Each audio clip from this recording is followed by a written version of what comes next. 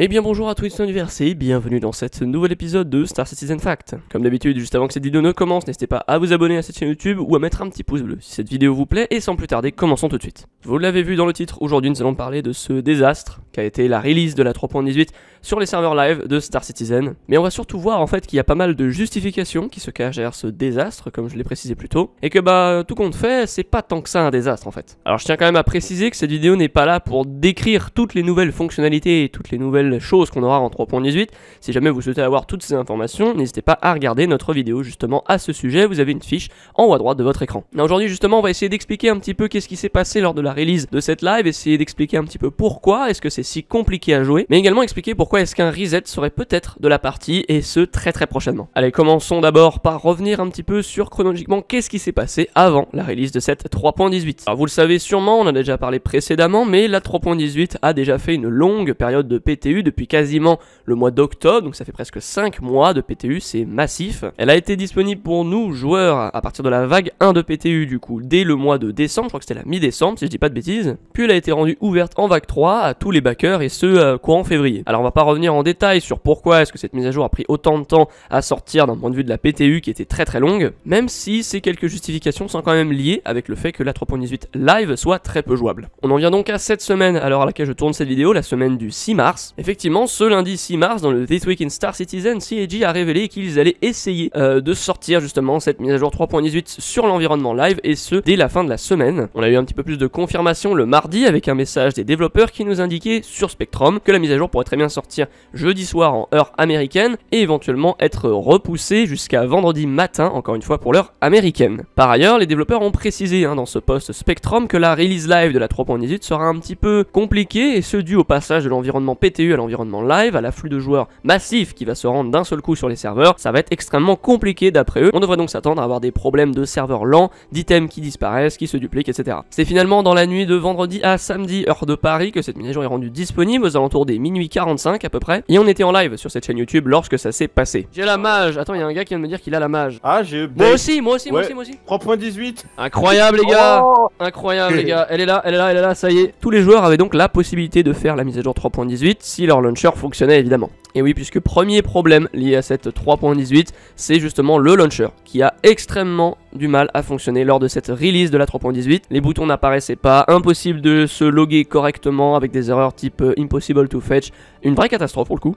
CIG a donc annoncé sur le statut serveur un problème lié au RSI Launcher et ce dû au trafic qui était juste euh, beaucoup trop important, on va dire pour ce dernier, qui a presque rendu l'âme. Entre guillemets, il fallait s'y attendre puisque encore une fois, ils nous ont prévenus et il y avait tellement de gens qui essayaient de se connecter en même temps que c'était presque inévitable en fin de compte. Enfin bon, ça c'est qu'un petit détail puisque environ une heure après, on va dire les problèmes ont été résolus. On a pu donc lancer le jeu sans trop de soucis et se diriger vers les serveurs live tout simplement. Alors le soir même de la release, tout se passait plutôt bien pour ce qui était du lancement du jeu, de la création du personnage et du chargement tout simplement vers notre point de spawn, vers le Persistent Universe. Ça a commencé à se compliquer un petit peu plus tard quand on va dire beaucoup plus de gens ont essayé de se connecter lorsque le petit matin est arrivé à l'heure française. En effet, les gens ont commencé à se manger des erreurs 19 000 dans la tronche, que ce soit 19 000, 003, 004, 005, bref ça y allait à l'appel. Encore une fois, CIG ont repéré le truc, évidemment ça ne sert à rien d'aller reporter ça sur l'issue comptile, vous vous doutez bien qu'un bug de cette ampleur, CIG est au courant, ne vous inquiétez pas, il travaille dessus. Ça a été donc extrêmement compliqué pour les joueurs qui souhaitaient en l'occurrence se connecter pour la première fois. En tout cas, c'est ce que j'ai pu remarquer de mon côté puisque toutes les personnes qui étaient avec moi cette même soirée et qui se sont donc connectées pour la première fois, qui ont créé leur personnage et sélectionné leur point de spawn, avaient juste aucun problème le lendemain pour jouer, bizarrement. Alors que toutes les personnes qui ne l'avaient pas fait, eh ben justement ont eu des problèmes type erreur 19000, etc.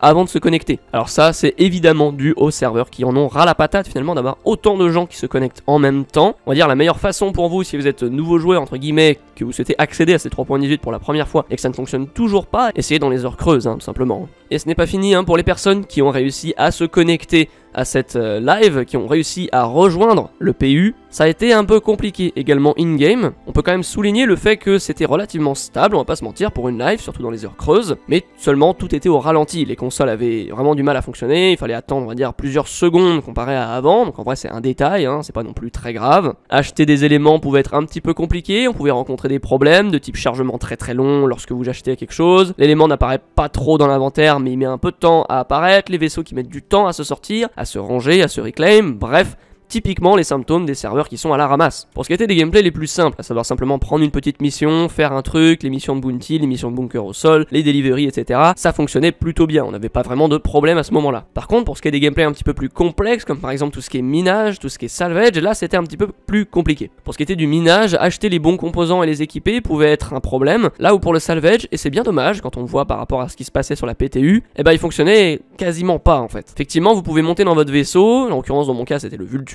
et avoir tout simplement aucune entrée de matière lorsque vous êtes en train d'utiliser votre laser sur une structure. Alors oui, je sais ce que vous allez dire, je préchote un peu vos commentaires, certains vont me dire oui, est-ce que la structure était vraiment scrapable? Oui, est-ce que quelqu'un l'avait déjà scrappé On a passé l'après-midi quasiment à essayer de comprendre pourquoi ça ne fonctionnait pas, et finalement c'était simplement un bug. Hein.